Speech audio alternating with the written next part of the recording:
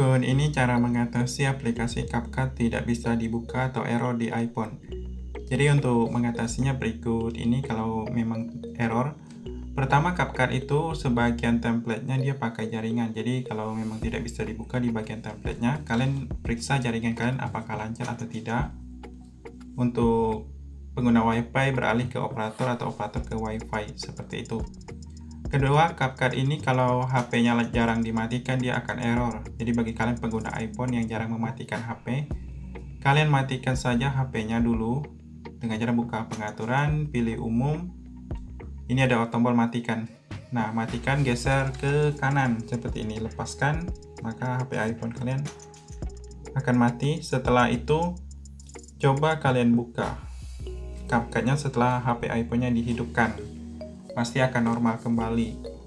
Selanjutnya kalau masih tidak bisa, kalian lakukan update aplikasi CapCut. Buka App Store, kalian lakukan pencarian seperti ini. Nah, di sini di bagian cari, ketik CapCut, pilih aplikasinya, di bawahnya ada tombol pembarui, update ke versi terbaru, supaya bisa digunakan dan bisa dibuka.